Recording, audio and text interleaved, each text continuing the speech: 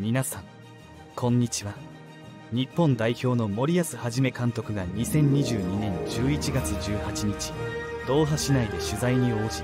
23日のドイツ代表とのグループステージ初戦へ向けた4日間の練習を全て非公開にすると明言しました。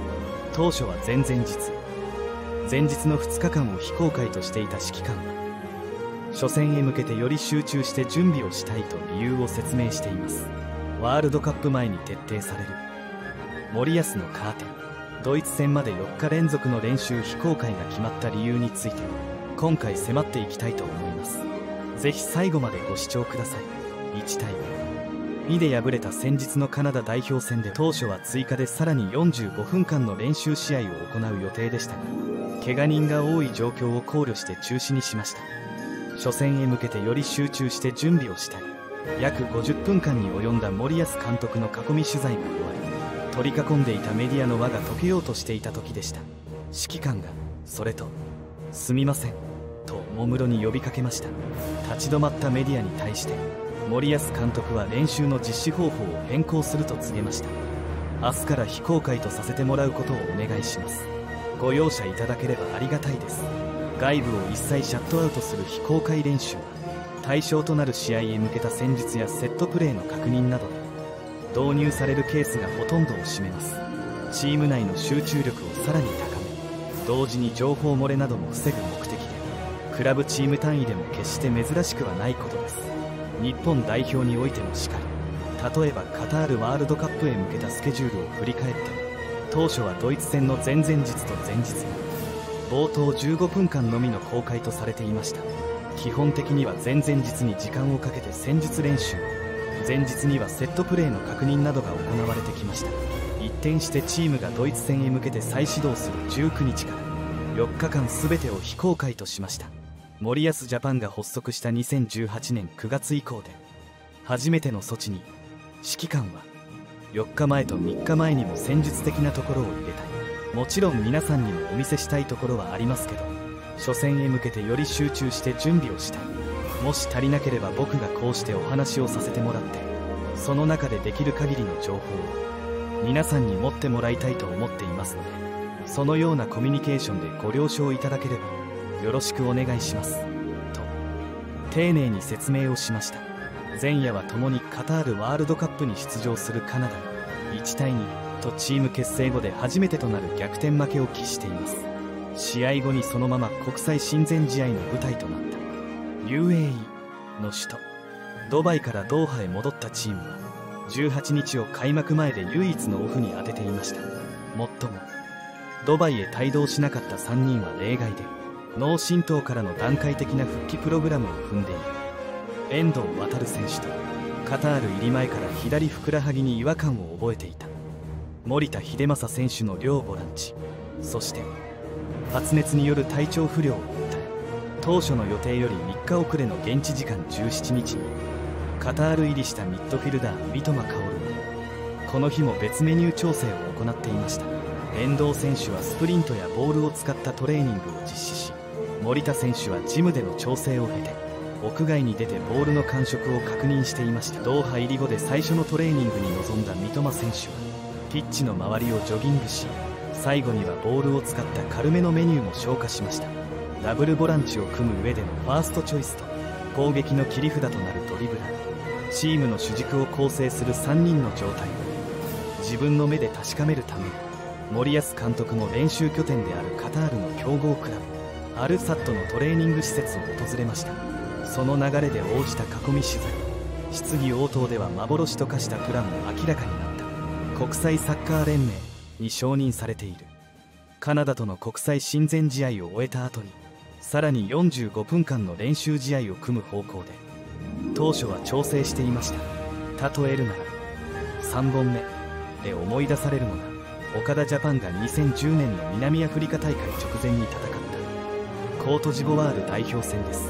国際親善試合となる90分間を0対2で敗れた日本は追加の45分間を1対0で勝利。練習試合扱いとなった45分間で躍動したミッドフィルダー松井大輔選手。ディフェンダー駒野雄一選手らがワールドカップ本番でのレギュラーを射止め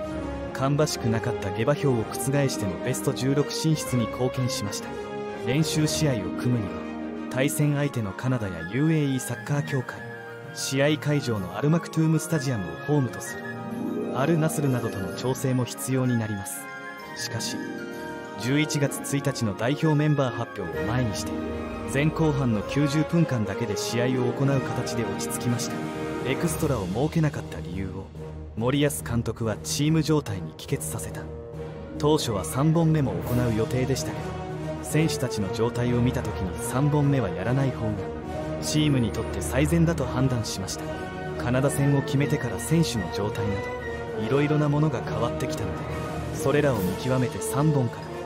90分の試合にしてほしいとお願いしました。カナダとの国際親善試合が決まったのが9月8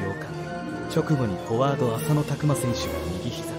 ディフェンダー板倉滉選手が。左膝の内側側副靭帯を損傷して離脱。ミッドフィルダー田中碧選手も。10月下旬に右膝を痛めて離脱を余儀なくされました。結果として代表メンバー発表後も故障の連鎖が続きカナダ戦は別メニュー組の3人だけでなくドバイへ帯同させたディフェンダー冨安健洋選手今月上旬に痛めた右太ももが考慮されて欠場しました。カナダとトータルで135分間戦えばその分だけ選手たちにかかる負荷も大きくなる。総合的に考えて前後半の90分間で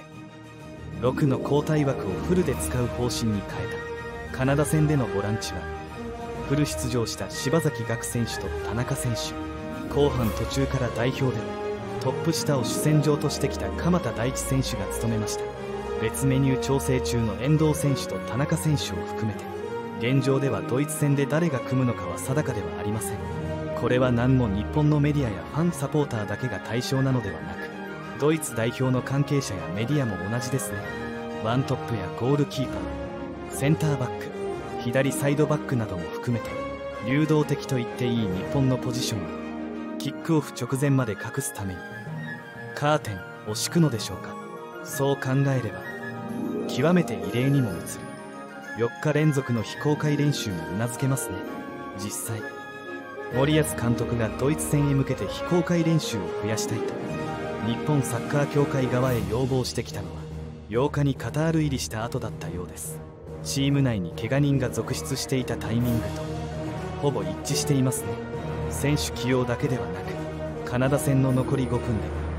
4 2 3 1から移行した3バックを戦術的にさらに熟成させる手も考えられる。しかし当該国のメディアが伝えれば SNS などのツールを通じて情報がワールドワイドで伝わるでしょう。ドイツ戦へのプランを徹底的に隠したいからこそ。